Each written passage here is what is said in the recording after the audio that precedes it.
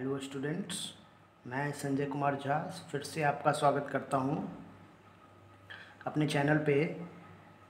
आज हम लोग जो बात करने जा रहे हैं, काफ़ी इम्पोर्टेंट टॉपिक माना जाता है ये एवोल्यूशन पॉइंट ऑफ़ व्यू से। एक्चुअली में हम लोग इस टॉपिक से समझने जा रहे हैं मैकेनिज़्म ऑफ़ एवोल्यूशन और मैकेनिज़्म ऑफ़ एवोल्यूशन को समझने के लिए हम लोग पॉपुलेशन जेनेटिक्स का बात करेंगे। एक्चुअली आपको पता भी होगा कि इवोल्यूशन एक इंडिविजुअल लेवल का टॉपिक नहीं है. इवोल्यूशन एक्चुअली में एक पॉपुलेशन लेवल का टॉपिक है, क्योंकि एक सिंगल इंडिविजुअल में अगर इवोल्यूशन होता है तो ये बेनिफिशियल नहीं माना जाता है. जबकि पॉपुलेशन में अगर इवोल्यूशन होता है तो ये ज़्यादा बेनिफिशियल माना जाता है according to environmental point of view तो आज हम लोग इसी टॉपिक को समझने का कोशिश करेंगे. तो देखिए पॉपुलेशन जेनेटिक्स की हम लोग बात कर रहे हैं. तो पॉपुलेशन जेनेटिक्स क्या होता है? देखो study of frequency of gene actually में जीन के फ्रीक्वेंसी का ये स्टडी है and their changes in a population under different condition कुछ स्पेसिफिक सेट ऑफ़ कंडीशंस के अंदर, अगर किसी पॉपुलेशन के जीन के फ्रीक्वेंसी में कोई चेंजेस होता है तो इसी सिस्टम को हम लोग पॉपुलेशन जेनेटिक्स के अंदर पढ़ते हैं। अब सबसे पहले तो हमारा ये इंपॉर्टेंट बात है कि आखिर ये जीन फ्रीक्वेंसी क्या चीज़ है? अब देखो ये जीन फ्रीक्वेंसी क्या चीज़ है भाई? क्या बताया गया it represents number of gene and proportion of an allele in relation to all the total allele of a gene occur in interbreeding population देखो एक्चुअली में जीन फ्रीक्वेंसी जो होता है ना, वो ये बतलाता है कि किसी पर्टिकुलर पॉपुलेशन के अंदर जो जीन का नंबर है या उसका प्रपोर्शन जो है, प्रत्येक इंडिविजुअल में क्या है? जैसे मान लो, किसी पर्टिकुलर क्रोमोसोम्स के ऊपर जीन का स्पेसिफिक लोकेशन होता है लोकस पे होता है। तो ये एक ख़ास इंडिविजुअल का हुआ, लेकिन अगर मान लो इसी को हम हर पूरे पॉपुलेशन के जो मेंबर्स होते हैं, उस मेंबर्स में अगर हम लोग इस नंबर ऑफ़ जीन को इसको रिप्रेजेंट करें तो that is called gene frequency इसी को हम लोग जीन फ्रीक्वेंसी के नाम से जानते हैं। तो पॉपुलेशन जेनेटिक्स जो है ना, वो on the basis of gene frequency ही है। जीन फ्रीक्वेंसी के आधार पर ही हम लोग ये समझते हैं कि उस जीन फ्रीक्वेंसी में कितना चेंजेज हुआ है। किसी भी जीन फ्रीक्वेंसी के अंदर किस लेवल का चेंजेज आया है। और उस लेवल ऑफ़ चेंजेस की वजह से हम लोग ये डिटरमाइन कर लेते हैं कि इस पर्टिकुलर पॉपुलेशन में इवोल्यूशन का रेट क्या है। इस पर्टिकुलर पॉपुलेशन में इवोल्यूशन कैसे हो रहा है। ओके अब इसी चीज़ को सबसे पहले एक्सप्लेन करने का जो प्रोसेस आता है, इसमें वो आता है हार्डी विनबर्ग प्रिंसिपल। काफ़ी इंपॉर्टेंट टॉपिक माना जाता है बीबीआई टॉपिक है एकदम, चाहे वो आपके बोर्ड पॉइंट ऑफ़ व्यू से हो या फिर कंपटिटिव पॉइंट ऑफ़ व्यू से हो। देखो, हार्डी विनबर्ग प्रिंसिपल जो है, इसको हम लोग बोलते हैं Hardy Weinberg principle of genetic equilibrium. 1908 में 1908 में इसको प्रपोज किया गया था हार्डी और विनबर्ग दोनों। इंडिपेंडेंटली इन्होंने अपना काम किया था इस पर हार्डी विनबर्ग प्रिंसिपल कहता क्या है? देखो ये कहता है in a large non evolving population देखो ये बहुत इंपॉर्टेंट बात है। पॉपुलेशन क्या होना चाहिए? लार्ज और नॉन इवॉल्विंग होना चाहिए। मतलब उसमें इवोल्यूशन नहीं होना चाहिए। उसकी बात हो रही है। Population of sexually producing individual genes or allelic frequency remains constant from generation over generation without change in their phenotypic expression मैं सिंपल भाषा में इसको बता देता हूँ कि हार्डी विनबर्ग प्रिंसिपल ने कहा था कि अगर कोई आइसोलेटेड पॉपुलेशन है आइसोलेटेड पॉपुलेशन के अंदर इवोल्यूशन नहीं होगा उसके जीन्स के फ्रीक्वेंसी में कोई चेंजेस नहीं आएगा। और जब इवोल्यूशन नहीं होगा तो उसके जीन के फ्रीक्वेंसी में जब कोई चेंजेस नहीं आएगा तो उसका फिनोटिपिक एक्सप्रेशन भी कुछ अलग टाइप का शो आउट नहीं होगा। Every members are in remains same state due to constant frequency of their allele और जीन एलिल और जीन जो है ना, उसके फ्रीक्वेंसी में कांस्टेंट होने की वजह से उस पर्टिकुलर पॉपुलेशन में कोई चेंजेस नहीं होगा। यही इंपॉर्टेंट बात बताई गई थी हार्डी और विनवर्क के द्वारा। तो जब इवोल्यूशन होगा ही नहीं तो फिर आखिर इसका इम्पोर्टेंस क्या है? एक्चुअली में इसका इम्पोर्टेंस ये है कि ये प्रोसेस ये डिटेक्ट करता है। इस प्रोसेस से आप डिटेक्ट कर सकते हो कि इवोल्यूशन का स्टैंडर्ड क्या है इवोल्यूशन का लेवल क्या है। किसी पर्टिकुलर पॉपुलेशन में इवोल्यूशन की क्या फ्रीक्वेंसी है, आप इसको डिटरमाइन कर सकते हो। इन्होंने ऐसा नहीं बताया था कि इवोल्यूशन से रिलेटेड कोई कॉन्सेप्ट था। इवोल्यूशन नहीं होने से रिलेटेड का कॉन्सेप्ट है ये हार्डी विनबर्ग प्रिंसिपल या हार्डी विनबर्ग जेनेटिक इक्विलिब्रियम या हार्डी विनबर्ग लॉ ओके देखिए, वही मैंने बताया नीचे कि this law provide tools to determine that whether a particular population evolve और नॉट ये एक्चुअली में क्या था ना, ये प्रिंसिपल जो था, इन्होंने कुछ मैथमेटिकल टूल्स दिया था। उस मैथमेटिकल टूल से ये एक्सप्रेस किया जा रहा था, या एक्सप्रेशन करने में हेल्प मिलता था कि whether evolution occur in given set of population और नॉट ओके तो चलिए देखते हैं कैसे। अब देखो हार्डी विनबर प्रिंसिपल जो था, इनको दो टर्म में इन्होंने एक्सप्लेन किया था, एक एलिलिक फ्रीक्वेंसी के टर्म में और एक जीनोटाइप के टर्म अब एलिलिक फ्रीक्वेंसी के टर्म में हमने ले लिया, जैसे ए प्लस ए देखो ये डोमिनेंट है और ये रेसेसिव है। इसको हम लोग पी प्लस क्यू के टर्म में भी लिखते हैं। P plus Q is equal to one ये क्या हुआ? एलिलिक फ्रीक्वेंसी के टर्म में। मतलब ये वन जो है ना, वो क्या है? कांस्टेंट है। और ये वन क्या रिप्रेजेंट कर रहा है? कांस्टेंट को रिप्रेजेंट कर रहा है। किसी भी पर्टिकुलर टाइप के स्पेसीज का जो आइसोलेटेड होगा। और ए जो है, वो क्या है? डोमिनेंट एलिल को और कि स्मॉल ए जो है वो क्या है रेसेसिव एलिल को रिप्रेजेंट कर रहा है। तो ए जो है वो क्या हुआ? डोमिनेंट एलिल को हम लोग पी से रिप्रेजेंट कर रहे हैं और रेसेसिव को हम लोग क्यू से रिप्रेजेंट कर रहे हैं। तो कुछ ये कॉन्सेप्ट था। अब अगर हम लोग जीनोटाइप के टर्म में देखें तो क्या है? जीनोटाइप तो कम्बिनेशन ऑफ़ एलिल्स होता है। तो कम्बिनेशन ऑफ़ एलिल कहने का मतलब क्या कि ऐसा ऐसा दो सेट हम ले रहे हैं, देखिए। ए प्लस ए और ए प्लस ए दोनों को मल्टीप्लाई करके हम क्या करेंगे? वन कुछ ऐसा बात किया गया था। और जब आप इसको मल्टीप्लाई करते हो तो ये आप क्या लिख सकते हो? इसको आप ऐसे लिख सकते हो ना? ए प्लस ए का होल स्क्वायर ऐसा कुछ लिख सकते हो आप, है ना? तो ऐसे कंडीशन में देखिए A square plus two A A plus A square is equal to one यहाँ पे कैपिटल ए है, यहाँ पे कैपिटल और स्मॉल ए है। आप सीधे ऐसे इसको अगर पी क्यू के टर्म में लिखोगे तो क्या हो जाएगा? P square plus two P Q, आप देखिएगा एन में कुछ इसी टर्म में लिखा हुआ है, और प्लस क्या Q square is equal to one तो यहाँ पे पी स्क्वायर किसको रिप्रेजेंट कर रहा है? या ए स्क्वायर किसको रिप्रेजेंट कर रहा है? कैपिटल ए देखो, ये डोमिनेंट जीन जो है ना, उसका होमोजाइगस डोमिनेंट को रिप्रेजेंट कर रहा है। वहीं पे स्मॉल ए जो है, वो रिप्रेजेंट कर रहा है किसको? ए स्क्वायर मतलब ये होमोजाइगस रेसेसिव जीन को रिप्रेजेंट कर रहा है। और जो ए ए है, वो रिप्रेजेंट कर रहा है हेट्रोजाइगस को। आप इसको ऐसा भी लिख सकते हो पी स्क्वायर इसको लिख सकते हो क्यू स्क्वायर और ये हो जाएगा P Q P Q okay तो इस तरह से कुछ ऐसा रिप्रेजेंटेशन किया गया था। देखिए, इसका जो इम्पोर्टेंस है, उसके लिए मैं अलग से आपको एक बता दूँगा। उसमें मैंने आपको कुछ नोमेडिकल्स रिलेटेड इससे रिलेटेड मैं कुछ नोमेडिकल्स बता दूँगा। उसका मैं एक अलग वीडियो आपको एक्सप्लेन कर दूँगा। फ़िलहाल इस, ये जो इक्वेशन था, ये जिसको हम लोग हार्डी विर्मर इक्वेशन बोलते हैं, इस इक्वेशन का यही रिप्रेजेंटेशन था। कि एलेलिक फॉर्म में डोमिनेंट और रिसेसिव का कम्बिनेशन जो होगा, वो भी वन होगा।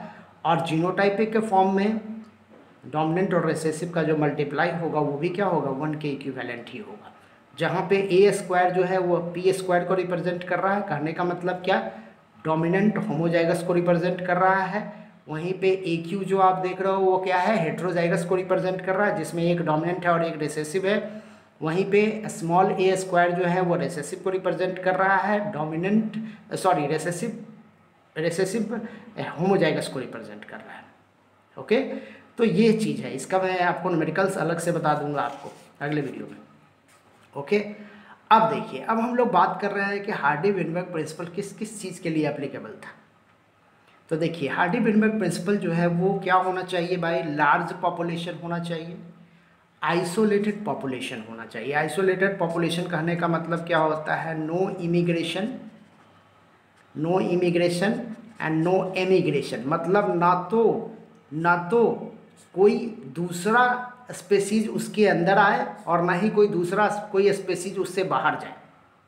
है ना? जैसे मान लो ये अगर एक लोकेलिटी है, इस एरिया के लोकेलिटी की हम लोग बात कर रहे हैं, इसमें स्पेसीज का तो कोई स्पेसीज अंदर भी नहीं आना चाहिए और कोई स्पेसीज बाहर भी नहीं जाना चाहिए। एक्चुअली में इसका बेसिक कॉन्सेप्ट ये था ना कि चेंज इन जेनेटिक मैटर नहीं होना चाहिए। हार्डी विनबर्ग प्रिंसिपल का बेसिक कॉन्सेप्ट यही था कि ये चेंज ऑफ़ जेनेटिक मैटर नहीं होना चाहिए। हालाँकि ये पॉसिबल नहीं है। ये कॉमन वे में पॉसिबल नहीं है कि एक आइसोलेटेड पॉपुलेशन आपको मिल जाए। बहुत ही कम चांस होता है ऐसे पॉपुलेशन का मिलने का। ओके इसीलिए एक ऐसा पॉपुलेशन माना गया था हाइपोथेटिकल पॉपुलेशन माना गया था। ओके और ये जो पॉपुलेशन हाइपोथेटिकल है, इसका मतलब क्या प्रैक्टिकली ये नहीं अवेलेबल था। ये थ्योरेटिकली अवेलेबल था। थ्योरेटिकली हाइपोथेसिस है। है ना? और ये रिप्रेजेंट कर रहा था नो एवोल्यूशन को। ये इंपॉर्टेंट बात है हार्डी प्रिंसिपल के बारे में। अब हम लोग देखने जा रहे हैं कि वो कौन सा फैक्टर है जो हार्डी प्रिंसिपल को ऑब्जेक्ट करता है। मतलब उसका ऑब्जेक्शन है। है ना? तो ऑब्जेक्शंस के रूप में देखिए, ये पाँच अलग अलग ऑब्जेक्शंस प्रोवाइड किए गए हैं हार्डी विनबर्ग प्रिंसिपल्स के। ये पाँच ऑब्जेक्शन क्या है भाई? तो जीन फ्लो नहीं होना चाहिए जीन रिकम्बिनेशन नहीं होना चाहिए म्यूटेशन नहीं होना चाहिए नेचुरल सिलेक्शन नहीं होना चाहिए और जेनेटिक ड्रिफ्ट नहीं होना चाहिए। ये पाँच चीज़ें जब नहीं होंगी, तभी हार्डी विनबर्ग प्रिंसिपल फॉलो होगा।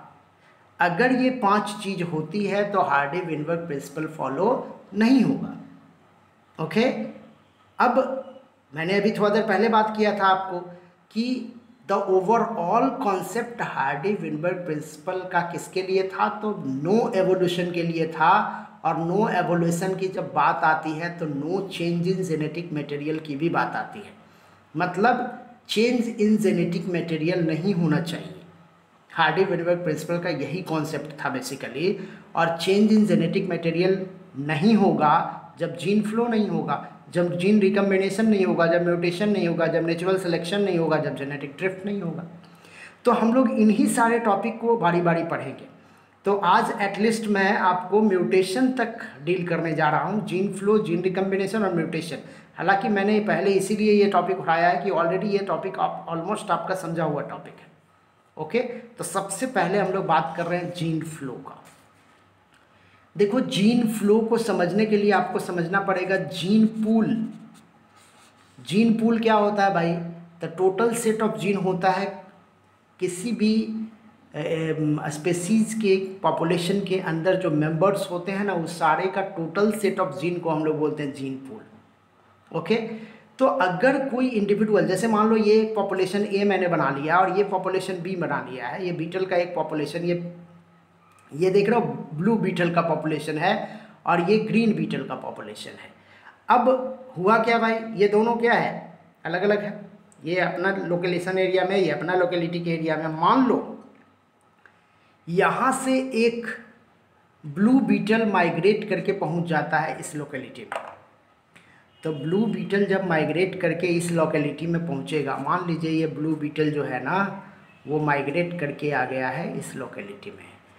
तो चूँकि दोनों का सेप साइज़ ऑलमोस्ट स्ट्रक्चर तो सेम ही है तो ऐसे कंडीशन में क्या होगा? ऐसे कंडीशन में देखिए तो ये ब्लू बीटल इस सब के साथ क्या करेगा?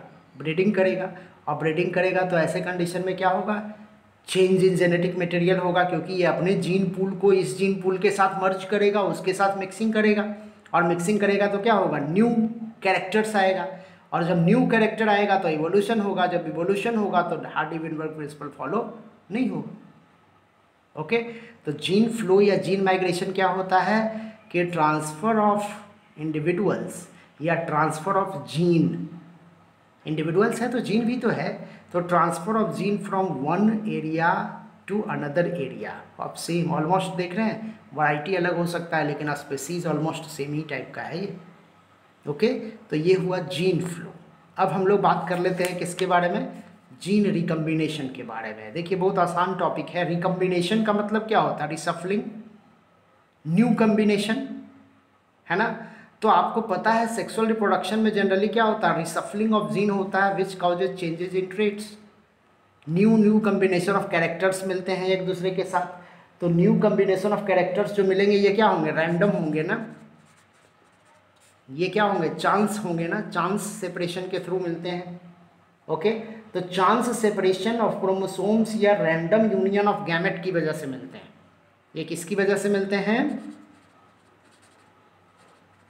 रैंडम यूनियन ऑफ़ गैमेट या फिर कह सकते हैं chance separation chance separation of chromosomes है ना? तो इसकी वजह से क्या होता है? जीन का रिकम्बिनेशन होता है। और जीन का जब रिकम्बिनेशन होगा तो ऐसे कंडीशन में अच्छा क्रॉसिंग ओवर भी इसी से रिलेटेड टर्म है। क्रॉसिंग ओवर भी इसी से रिलेटेड टर्म है। तो ये सब जो होता है ना, इसकी वजह से चांस होता है किसका? नए स्पेसीज का या नए कम्बिनेशन ऑफ़ ट्रेड्स का आने का। है ना? तो अगर जीन रिकम्बिनेशन होगा, तब भी क्या होगा? एवोल्यूशन का चांस बनेगा। और जब इवोल्यूशन का चांस बनेगा तो हार्डी विनबर प्रिंसिपल फॉलो नहीं होगा। वही है, देखिए continuous reshuffling cause evolution by recombination of new traits combination of traits occur है ना? तो नया कम्बिनेशन ऑफ़ ट्रेड्स होगा तो नया टाइप का स्पेसीज पैदा होगा। तो इसलिए जीन रिकम्बिनेशन भी इस सिस्टम को क्या करता है? इसका एक ऑब्जेक्शन है। मतलब कि हार्ड विनबर्ग प्रिंसिपल का ऑब्जेक्शन है। अब हम लोग बात करते हैं म्यूटेशन हालाँकि मैंने म्यूटेशन का एक अलग से वीडियो बनाया है।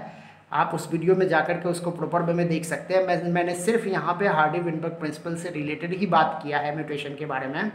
कि अगर म्यूटेशन होगा, इसका मतलब क्या होगा? चेंज इन जीन या चेंज इन क्रोमोसोम या चेंज इन स्ट्रक्चर होगा जीन का।